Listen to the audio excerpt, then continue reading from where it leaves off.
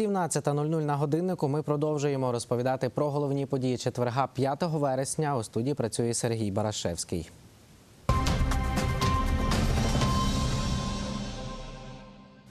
До дитячої лікарні на вулиці Пилипа Орлика після вечірньої аварії потрапили 12 дітей віком від 9 до 14 років. Про це повідомив заступник головного лікаря Роман Герега. Усі вони в хірургічному відділенні. У шести дітей діагностували струс головного мозку. Нагадаю, вчора близько 21-ї години на автодорозі Київ-Чоп біля села Банюнин сталася потрійна аварія. Там зіткнулися три автомобілі: Мерседес Віто, Фольксваген Джета і автобус Неоплан, який перевозив 45 дітей. Внаслідок аварії водій Мерседес Віто, 31-річний громадянин Німеччини, загинув. А 12 дітей та двох водіїв автобуса госпіталізували. Зараз цей сюжет ми готуємо до ефіру. Йдемо до інших новин. На Жидачівщині під час затримання втікачів із Миколаївської виправної колонії поранено поліцейського. Зараз він у лікарні.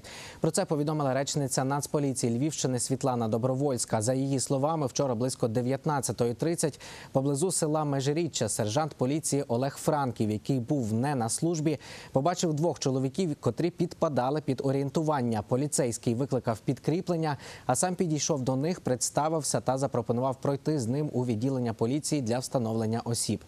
Чоловіки відмовились, і поліцейський прийняв рішення про їх затримання. Під час затримання чоловіків один із них поранив поліцейського ножем у груди. Поліцейського доправили до лікарні у стабільно важкому стані. Працівники Жидачівського відділення поліції на місці події затримали двох чоловіків. Це були засуджені, які напередодні втекли із Миколаївської виправної колонії. Прибувши на місце події, ми помітили, як Олег е, веде боротьбу з двома невідомими чоловіками, один з яких е, ножом вдарив його в область грудної клітки та ще раз намагався це зробити. Проте йому не вдалося, оскільки Олег е, вихопив у нього ніж. Одного з них ми затримали на місці події, інший же був затриманий після того, як намагався втекти. У ресторан Фазенда, що в Яворівському районі, виїхали представники Держпродспоживслужби. Про це повідомив начальник обласного управління державного нагляду за дотриманням санітарного законодавства Ярослав Ортинський. За його словами, фахівці Держпродспоживслужби раніше не могли потрапити на об'єкт, бо ресторан був зачинений. Не знаю, чи там щось є. Ну я зараз нічого не можу сказати. Там ще залишились якісь залишки продуктів. Я думаю, що від весілля від 31 числа вже нічого не залишилося. Але сировина, що там є, вода водопровідна, е, будуть відбирати. Відповідно, десь через 5 днів на шовці будуть результати. Кількість отруєних людей після відвідин весілля в Яворівському районі зросла. Тепер у Новояворівській лікарні перебуває 12 людей. Серед них одна дитина. Про це телефоном повідомив заступник директора Львівського лабораторного центру Олег Когут. Ситуація не змінилася далі, так як зранку було 12 осіб госпіталізованих, так і ні. Діагноз гостра кишкова інфекція. Нагадаю, у селі Наконечне друге Яворівського району на весіллі отруїлись люди. Святкування було в ресторані Фазенда. За фактом отруєння поліція відкрила кримінальну справу. І до Львівського військового госпіталю сьогодні доставили 12 поранених військових. Про це кореспондентам Суспільного розповів заступник начальника центру із роботи з особовим складом військового госпіталю Іван Держило. За його словами, важко поранених військових немає. Їх привезли з Дніпра на медичному літаку Мрія. У дошкільному навчальному закладі номер 106, що на вулиці Хвильового, діти однієї з груп навчалися у приміщенні, де є грибок на стінах. Фотографії, у якому стані приміщення розмістила в мережі Фейсбук одна із мам Уляна Мельник. Сьогодні у цьому садочку зібрались батьки, представники відділу освіти та керівництво садочку. Що вирішили та чому не робили ремонт перед початком навчального року? Дивіться далі у сюжеті. Ми не знали, що тут буде грибок. Привели, трошки так вжахнулися. Трирічна Миланка ходить у цей дитячий садочок менше тижня. Щоб дівчинка звикла до садочка, батьки залишають її тут на дві години щодня.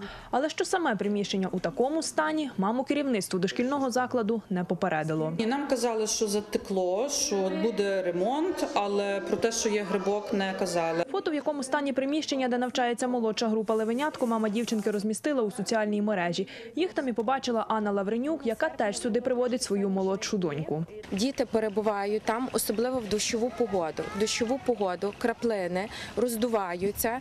Відповідно, вода далі протікає. На даху ремонтує один майстер. Це не є професійна бригада. Перше питання, яке би мали поставити, принаймні дітей перевести в іншу групу, принаймні мінімум, який могли зробити, а не перебувати дітям ще в стані ремонту. Хто це е, відповідає за це? Хай сидить в тій групі і сам це все.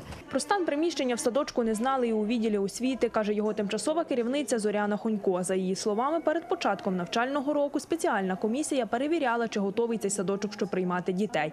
Але про грибок на стінах тут дізнались не від них, а з посту із соціальної мережі. Якщо 30 числа комісія ще обходила той чи інші навчальні, ті чи інші навчальні заклади, то орієнтовно там до 4-5 вони б мали подати звіт за результатами роботи. Кожен завідувач є господарем в своєму навчальному закладі, і напевно завідувач також мало би подбати про те, яку групу треба ремонтувати першочергово. Погодьтеся, Е, тому також є і запитання до керівника Сьогодні тут зібрались батьки, керівництво садочку та представники відділу освіти. Після майже години переговорів вирішують дітей розмістити по інших групах. Чому не зробили цього раніше? Завідувачка садочку каже. Зроблено капітальний ремонт одної великої групової кімнати, де відвідують діти з інклюзивною формою навчання. І в цій групі мала бути, так як би мовити, група в групі. Е, Багато дітей зараз хворіють. Ті е, створені з ремонтом групі, мала бути група м, безглютенова, безлактозна. Але ще е, діти не підійшли.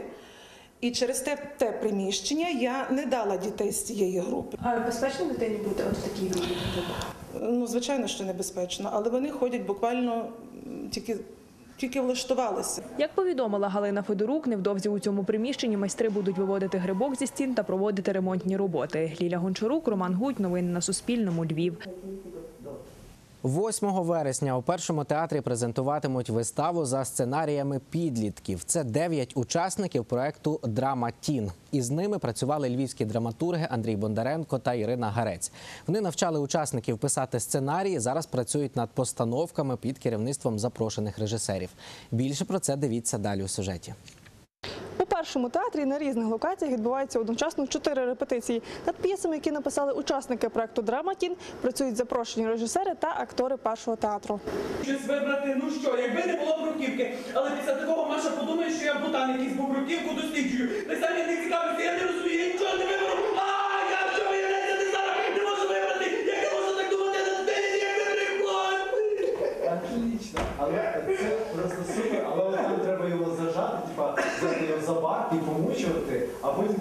ти на, е, на четвереньках.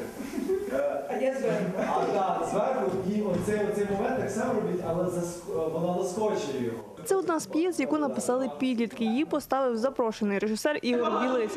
На постановку у цьому проєкті виділили 5 днів. Актори ще вчать текст, а режисер стежить за роботою акторів. Це дуже цікаво для мене.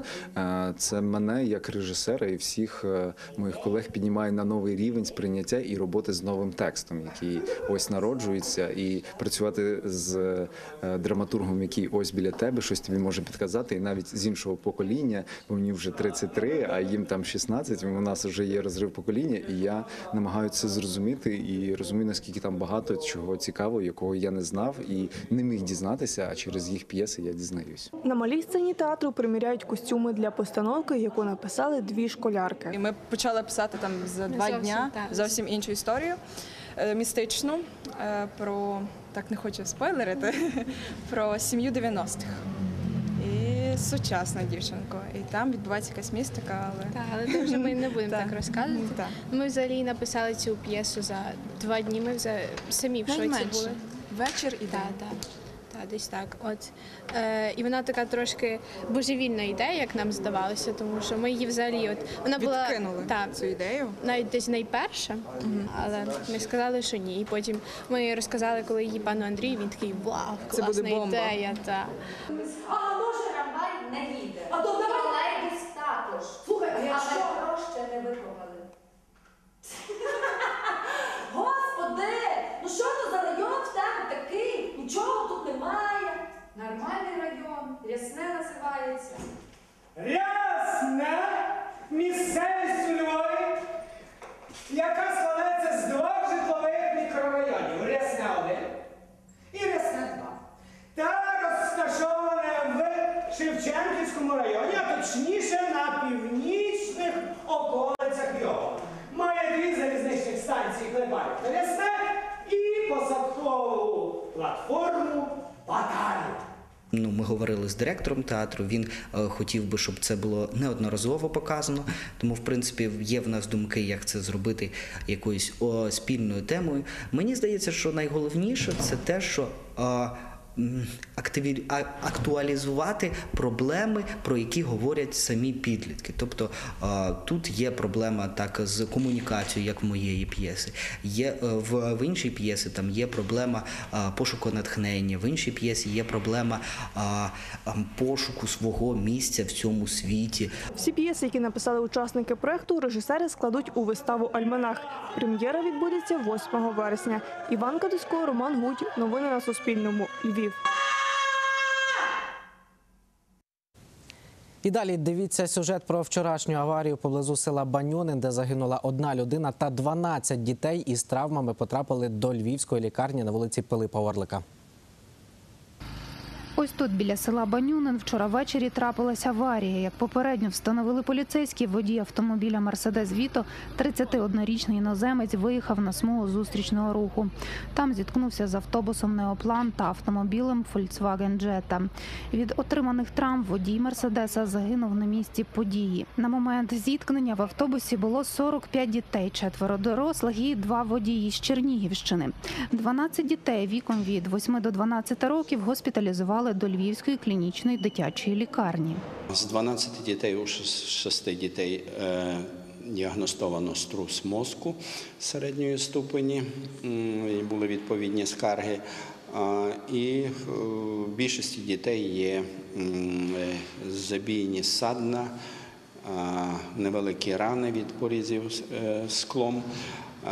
Всі рани оброблені хірургічно і на даний час е, не потребують якихось е, хірургічних втручань. Стан дітей на даний час задовільний. Е, Вони не потребують якихось спеціальних додаткових там обстежень. Після огляду наших спеціалістів, в принципі, вони можуть бути транспортовані сьогодні, тобто 5 числа, додому. Як розповіла одна з супроводжуючих дітей Наталія Мірошниченко, автобус їхав з Чернігівщини, а саме з міста Сновська до Кракова. У автобусі їхали учасники танцювального колективу. Це е, наша була культурна поїздка. Е, Ми мали виступ і потім екскурсійну програму. Їхало 45 дітей, дітей четверо дорослих, супровіді в нашому. Ось так. Ми Краків, в Краків їхали. Дітям надано е, готель, дітям надана їжа, увага, все гаразд. Деякі діти ще думають про те, чи неможливо поїхати далі. А вони все-таки настроєні їхати Хочуть, да, але ні. Водіїв автобуса госпіталізували до лікарні швидкої допомоги. Один з них отримав травми ніг і перебуває в хірургічному відділенні. Інший в реанімації. Його прооперували.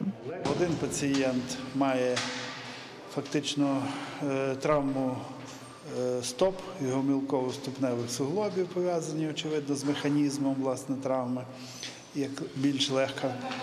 І е, водій, який перебував безпосередньо за кермом, має трошечки тяжчий вид ускладнень, там, верніше, вид травми, це поєднана травма. В основному скелетна травма грудної клітки з пневмотораксом, який ліквідовано під час операційного втручання, і е, перелом кісток гомілки і стопи. Причину зіткнення встановлюють, але за однією з версій аварія відбулася через втому водія автомобіля Мерседес Віто, який прямував з Німеччини у Рівне, каже начальник відділу розслідування злочинів у сфері транспорту Тарас Ханик. Одна з версій це можлива втома водія, і внаслідок чого фактично в нічний період часу він міг заснути. Оскільки е, учасники події розказують про його не, не зовсім адекватну поведінку е, як водія за кермом вже, де, вже до самого місця зіткнення транспортних засобів. Він виляв по своїй смузі спочатку в сторону узбіччя, потім на смугу зустрічного руху. Вони намагалися йому е, зробити якісь знаки, але, на жаль, водій не, не звертав на них увагу. Дітей з керівником групи, які їхали в автобусі і не травмувалися, тимчасово поселили в готелі біля Львова. Ольга Дейнека, Тарас Фомін. Новини на Суспільному. Львівщина. І це всі новини на цю мить. Більше розповімо вже у випуску новин о 19-й. Дочекайтесь.